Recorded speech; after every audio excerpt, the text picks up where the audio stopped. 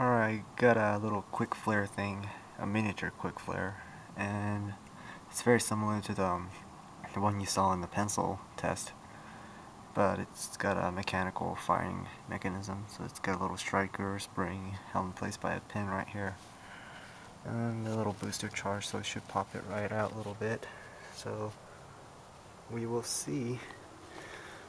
Here, let me find a little stick. Alright, so it's, I know it's dark, but alright, here we go.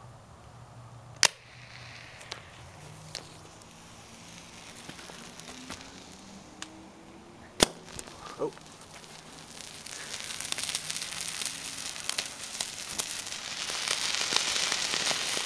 It's going.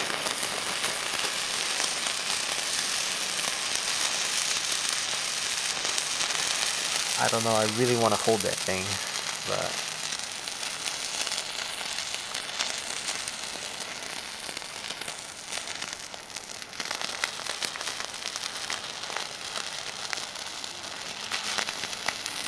Wow.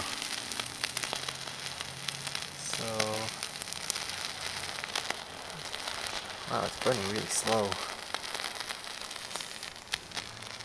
But, uh, yeah, I think that was it. Whoa. Oh, no, still going.